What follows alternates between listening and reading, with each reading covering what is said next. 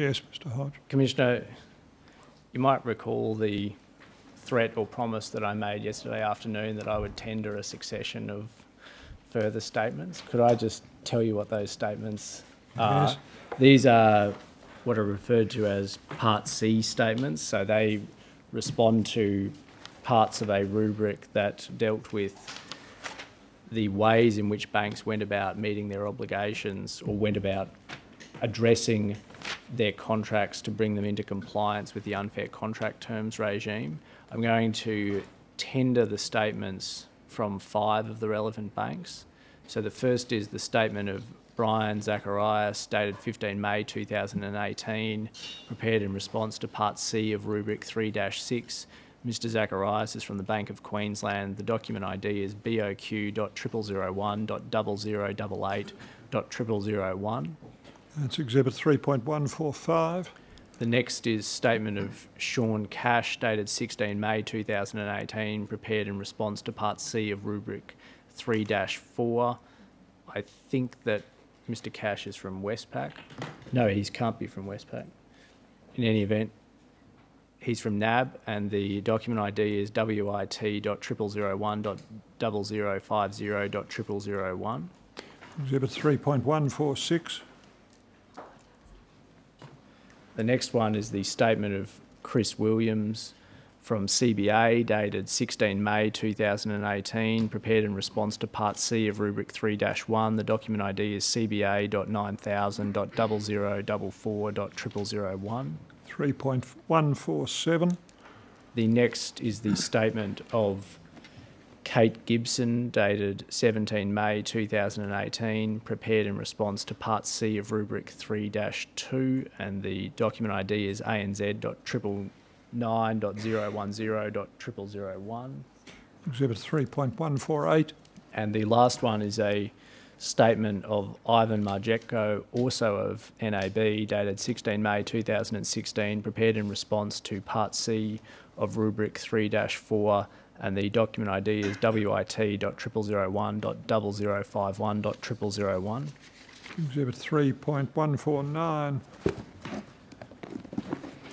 And then, Commissioner, the next witness is a Westpac witness, Ms O'Donoghue. Yes.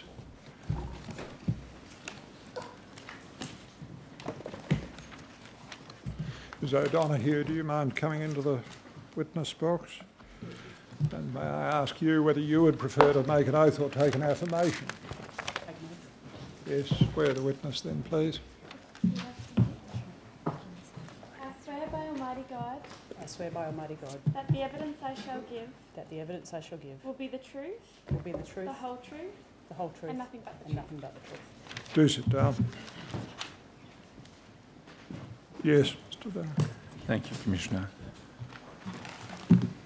Ms O'Donoghue, could I ask you to tell the Commission your full name? Kirsten Marnie O'Donoghue. And you are the Chief Risk Officer for the Westpac Group's business bank, is that right? That's correct. And your business address is 200 Barangaroo Avenue, Barangaroo, New South Wales, is that correct? That's correct. You've received a summons to appear at the Commission today. Yes, I have. Uh, Commissioner, I tender that summons. Exhibit 3.150 is the summons to Ms O'Donoghue. A- and you've also made a statement, I understand, in relation to Part C of Rubric 3.3, is that right? Yes, I have. Uh, and do you have a copy of that statement with you? Yes, I do. A- and are its contents true and correct? Yes, they are. Uh, Commissioner, I tender the statement and the exhibits to it. Statement of Ms O'Donoghue and its exhibits, Exhibit 3.151. May I please the Commission. Thank you. Yes, Mr Hyde. Thank you, Commissioner. Ms O'Donoghue, we- won't be very long. I just want to run through a few documents with you. That was, that was a promise to both you, Commissioner, and also Ms O'Donoghue. You've been the Chief Risk Officer of Westpac since January 2016, That's correct. and in that role, you're responsible for overseeing compliance with regulatory change. Yes, I am. And you've made a statement to the Commission, and one of the topics that it addresses is the changes that Westpac made to its small business standard form contracts since the amendment of the ASIC Act to extend the application of the UCT regime to small businesses. That's correct, yes. And you've also, in your statement, told the Commission about some communications that have taken place between Westpac and ASIC since January of 2016 in relation to those Yes. contracts.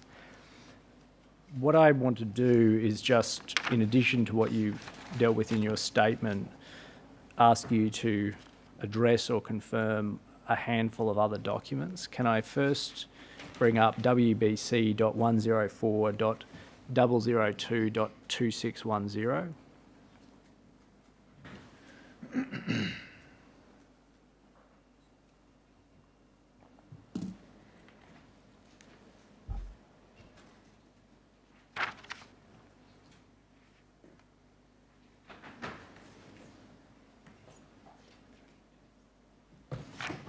Perhaps I can, would it be helpful? I, I'm afraid it's not in your Okay. statement, I don't think. Do you want me to read that number out again?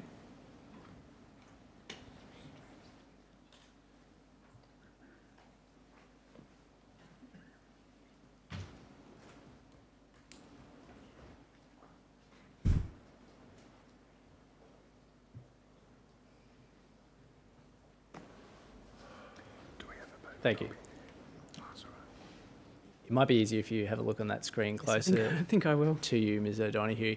Yes. This is an email from Sarah Brooks. Could you just tell the Commissioner who Sarah Brooks is? Sarah Brooks works in our regulatory response team within the risk group. And so does she report to you ultimately? No. Is she not, are you within the same group or in a Yes, we're in the, sa- in, within the risk family, but in Right. s- separate lines, if you, if I you like. understand. All right. And what this email records is that you and Ms Brooks had a discussion with ASIC about the unfair contract terms regime. Yes, that's correct. And have you reviewed or had the chance to have a look at this email in the course of preparing to give evidence? Yes, I have. And does what's set out in this email, although it's written by Ms Brooks, reflect your recollection of what occurred during that meeting?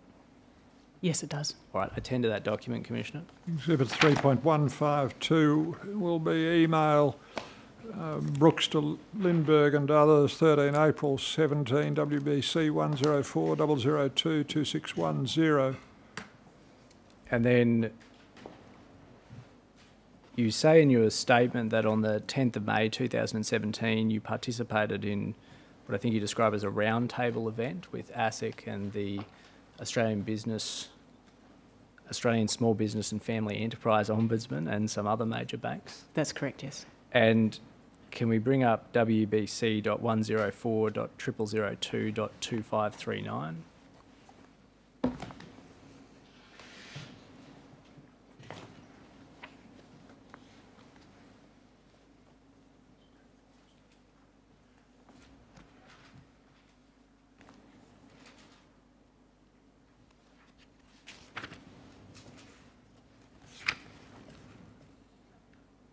Is it 104-002? WBC.104.002.2539. Yes.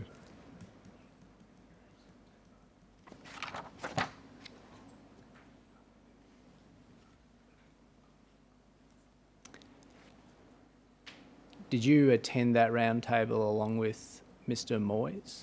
Yes, I did. All right. And he set out an email which contains a detailed note of what occurred at that meeting. Have you had the opportunity to review this document in the course of preparing to give evidence? Yes, I have. And does his note of what he sets out there reflect your recollection of what occurred during the meeting? Yes, it does. All right, I tend to that document, Commissioner. Exhibit 3.153, email Moyes to Holcomb and others, 10 May uh, 17, WBC 104 uh, 002 2539. And then you also, as we understand it, attended a further meeting with ASIC on the 19th of June 2017. Yes. And can we bring up WBC.107.001.6563?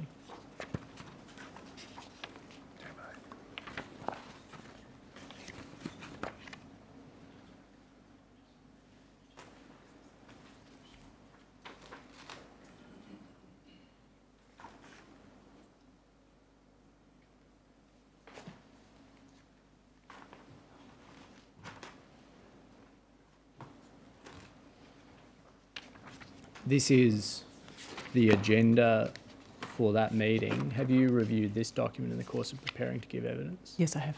And do you recall whether the items set out in the agenda were all discussed during the course of that meeting? Yes. I tend to that document, Commissioner. Agenda of meeting 19 June 17, small business loans, unfair contract terms, WBC 107 001 6563, exhibit 3.154. And finally, can we bring up WBC.414.002.0409?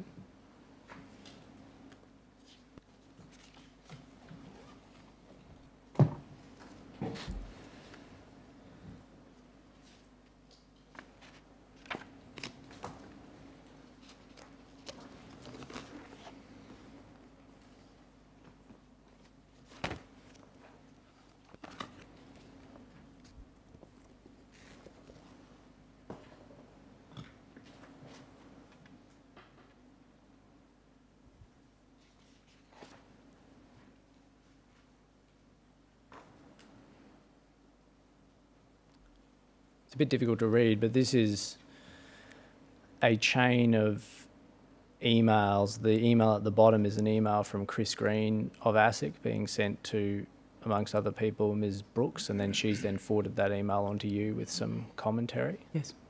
I, I tend to that document, Commissioner. What's its date, Mr. It's the 7th of March, to, it's the 6, 7 6th March and 7th March 2018.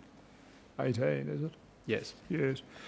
Now, Uh, emails between Brooks Green and others, 6 and 7 March 2018, WBC 414-002-0409, Exhibit 3.155.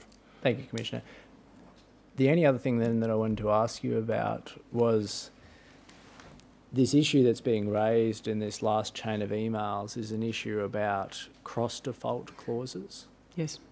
And as we understand it, there was a difference, there was at least a difference of view between ASIC and Westpac about the use of cross default clauses and the intersection between those cross default clauses and the UCT. Yes.